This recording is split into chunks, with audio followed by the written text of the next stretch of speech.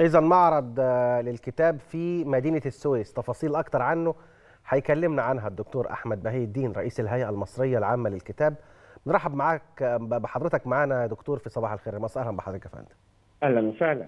أهلا وسهلا بيك دكتور أحمد. لما نيجي نتكلم بداية عن المعرض الأول للكتاب في السويس والمكان المميز اللي تم تدشينه فيه. بالفعل هو المعرض الأول لمدينة السويس المعرض الأول للكتاب يضم كثير من الناشرين في دورته الأولى. قبل ذلك كان في مدينة السويس مجموعة من آه، معارض الكتب الصغيرة اللي بتتم في قصور الثقافة لكن هي كانت آه، مقتصرة على هيئة الكتاب فقط أو قصور الثقافة لكنها المرة الأولى التي يكون هناك معرض للكتاب يضم حوالي 40 ناشرا من دور النشر الحكومية ودور النشر الخاصة. في مكان مميز كما أشرت حضرتك وهو ممشى أهل السويس. الحقيقة المدينة الباسله السويس مدينة عامرة بتراثها، مدينة عامرة بفنونها وثقافتها والكثير من الجمهور المصري يفد إلى مدينة السويس في هذه الفترة لأن خطة وزارة الثقافة أن يكون هناك الكثير من المعارض في المحافظات المصيفية ليس لمدن أهل مدن المدن المصيفيه فقط ولكن لعموم الشعب المصري الذي يزور هذه المدن في هذه الفترة. صحيح, صحيح. الحقيقة عند يعني تصميم أي معرض للكتاب في المحافظات هناك العديد من الرؤى التي لابد أن تتوافر في المعرض. اولا أن يكون المعرض فضاء ثقافيا حقيقيا وليس مجرد سوق للكتاب. فضاء ثقافي تفاعلي حقيقي سواء كان من خلال الأنشطة المقدمة للطفل على مدار أيام المعرض أي. معرض السويس بالمناسبة واحد من أطول معارض المحافظات هو يبدأ من 26 أغسطس حتى 8 سبتمبر أي. أنشطة يومية للطفل تقدم مجانا من خلال ورشات للرسوم وورشات للتثقيف وأيضا ورشات للحرف التقليدية انضمت إلينا للمرة الأولى مكتبة مصر العامة بسيارة مكتبية متنقلة وإن شاء الله ستكون متواجدة معنا في معارض المحافظات في الفترة القادمة م.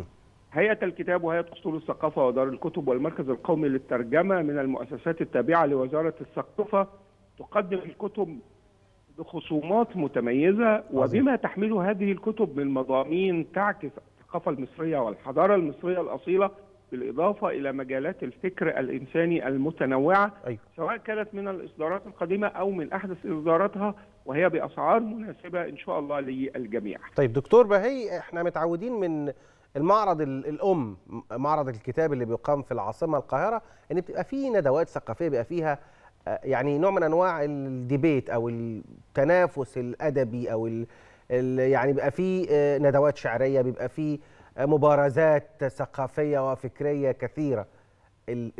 الحالة دي انتقلت أيضا إلى السويس؟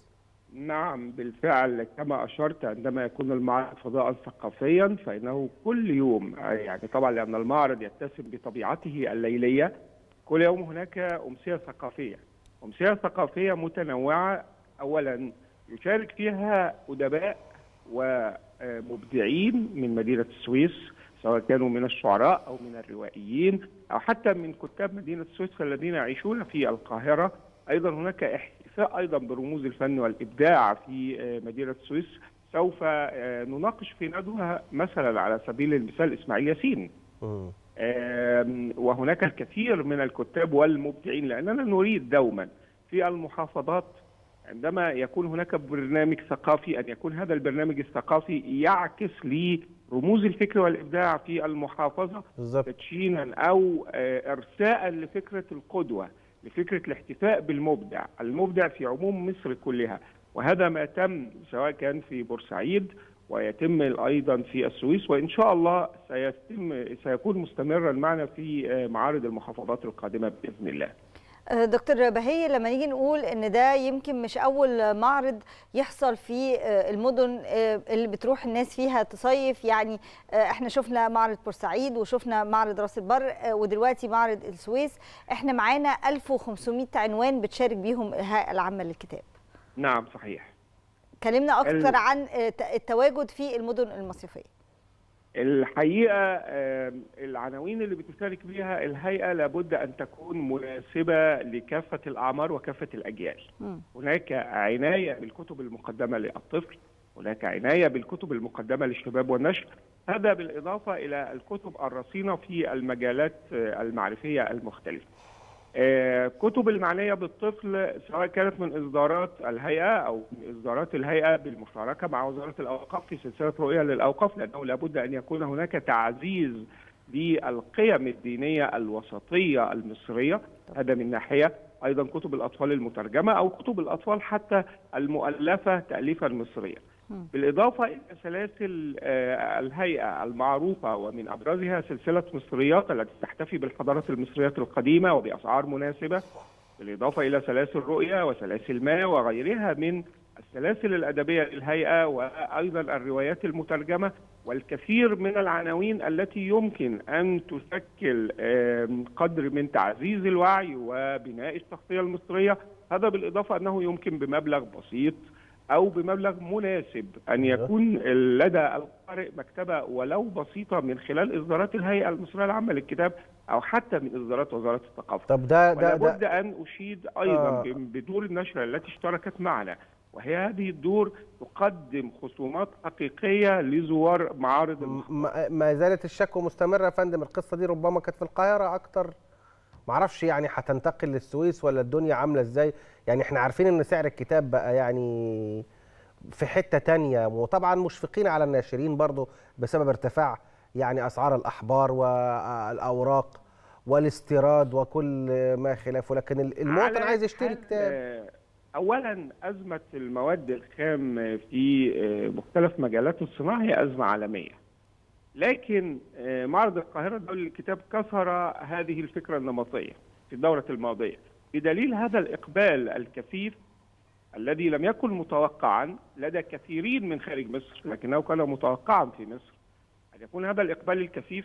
هذه المبيعات التي آه، كسرت حاجز آه، سنوات مضت وهو أيضا ما يحدث في معارض المحافظات لأن الكتب اولا هي متنوعة الأسعار. لدينا كتب من سعر جنيه ل 20 جنيه.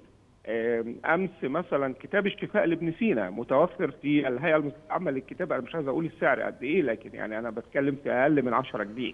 هذا مثلا ده على سبيل المثال تحت إيه لم تخني الذاكرة. الكثير من الكتب في متناول الجميع وأيضا مراعية لكل آه، شرائح الدخل المصري لأنه في النهاية وزارة الثقافة المصرية تقدم المعرفة المصرية دون أن يكون هناك هامش ربح فيها.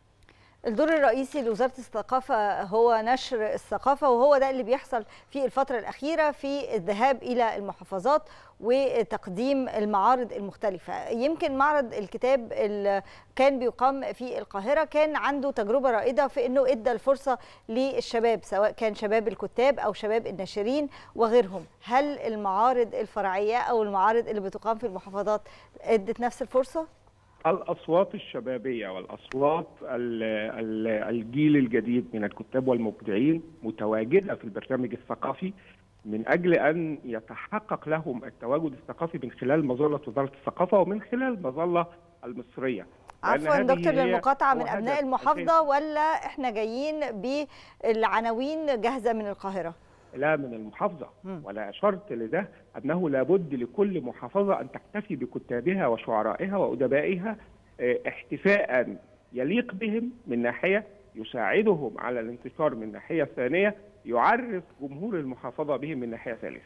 تمام تمام. كل الشكر ليك الدكتور أحمد بهي الدين رئيس الهيئة العامة المصرية للكتاب. شكرا جزيلا لحضرتك.